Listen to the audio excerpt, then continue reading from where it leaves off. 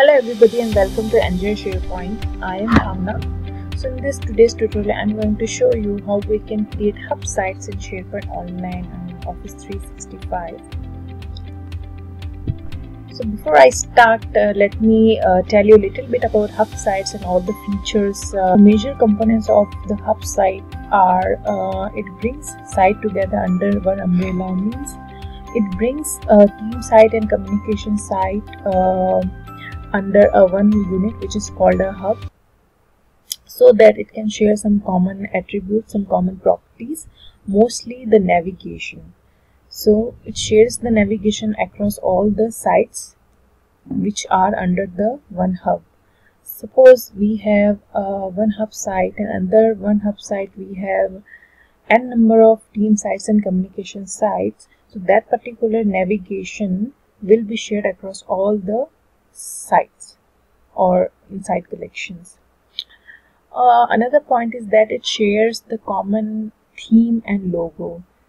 So the branding point of view, it is very uh, um, effective. Uh, uh it also rolls up the news and site activities. So uh, on a hub site, we can uh, roll up the news from different site collections and we can put under one page, one section which is a hub site section.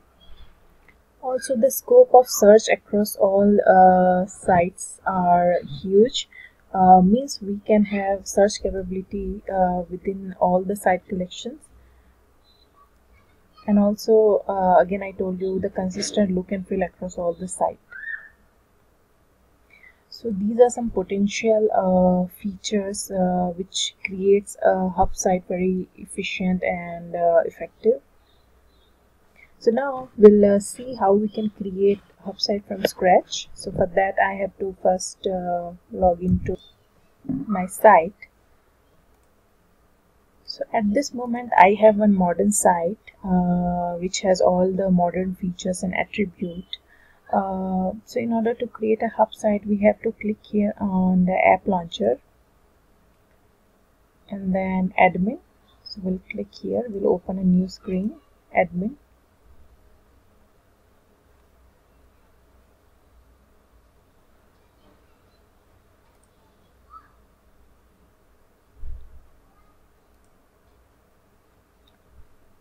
under admin section which has all the admin related activities uh, we'll go and click on SharePoint.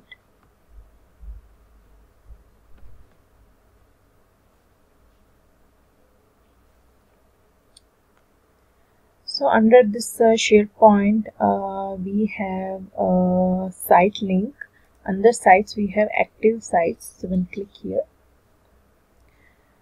so this screen commonly uh, lets us know how all active sites are, uh, what all sites are available which are active at this moment. So to create or to register any site as a hub site, we have to choose. So I'll choose this modern site as my uh, hub site. So as soon as I select one site you can see this option uh, is visible for me and we'll see. Register as a hub site or associate with a hub site. So if you already have a one hub site then you can associate this site to your uh, hub. But since we do not have any hub so we have to create it newly. So we'll register this as a hub site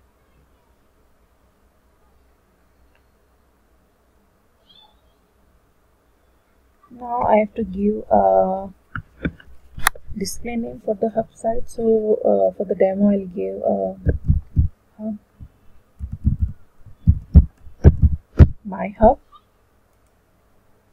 And all the people who can have access to this hub site. Uh, one another point which I want to bring is that uh, uh, only admin has access to create a hub site. Um, all other uh, site owners can associate sites to the hub, but they cannot have access. Uh, they cannot create basically any hub. So if you want to create a hub site, you have to have the admin access, admin right. Without that, you won't be able to create it. So now I'll add some people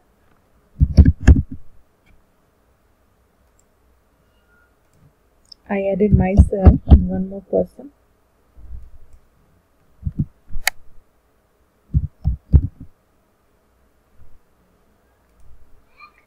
so I have added two person and click on save now.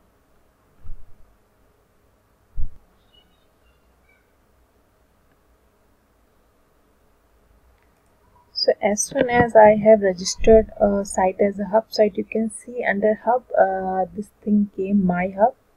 And it tells us that this is the hub site. So now we'll open and see again the modern site which is already here we'll just uh, refresh it.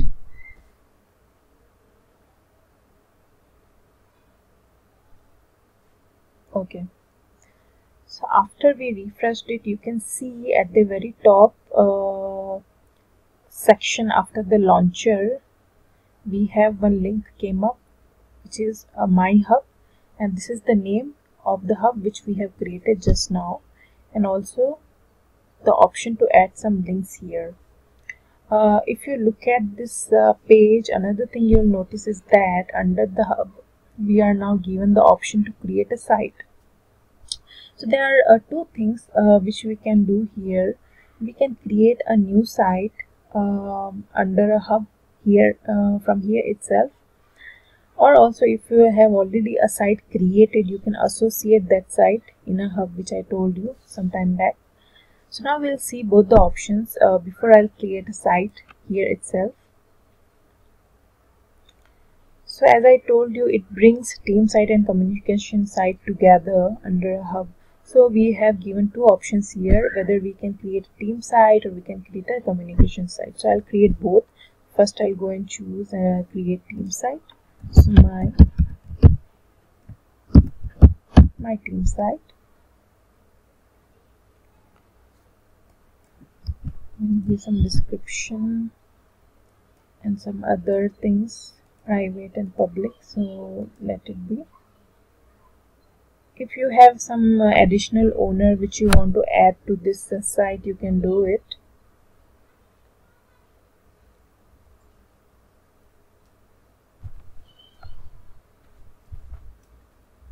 Otherwise you can click finish so this site is created. Again I go back here to my hub. And I create one more. This time I'll create a communication site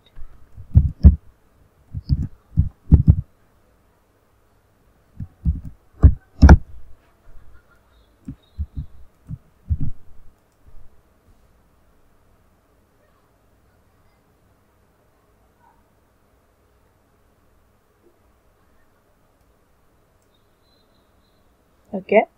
This is also created. So now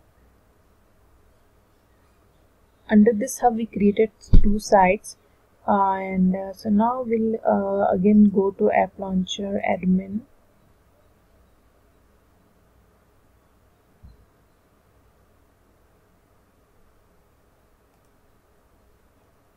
And under SharePoint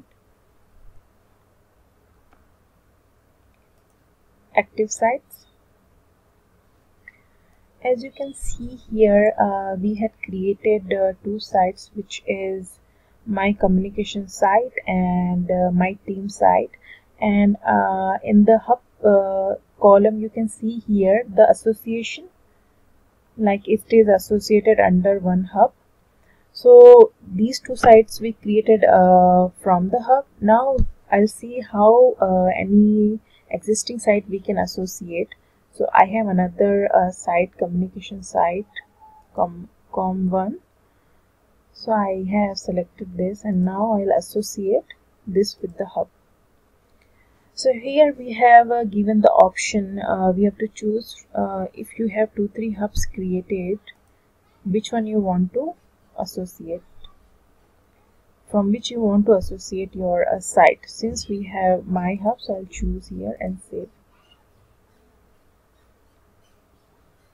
So as you can see here uh, now we have associate three site collections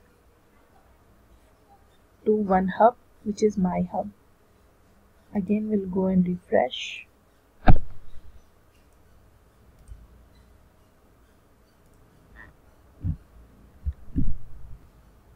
the next uh, tutorial I'll show you how you can create uh, some uh, navigation common navigation which will be shared across all the sites and also uh, how we can change theme and logo. So please stay tuned and subscribe our channel.